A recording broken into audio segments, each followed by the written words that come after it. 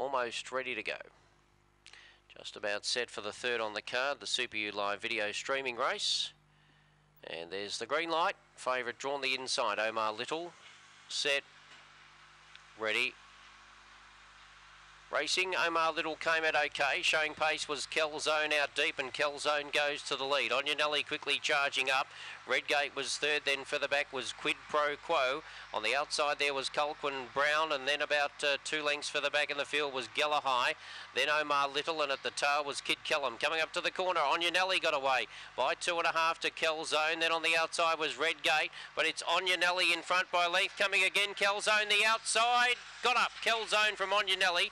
Then Redgate, further back there was Colquhoun Brown. In behind those was Quid Pro Quo.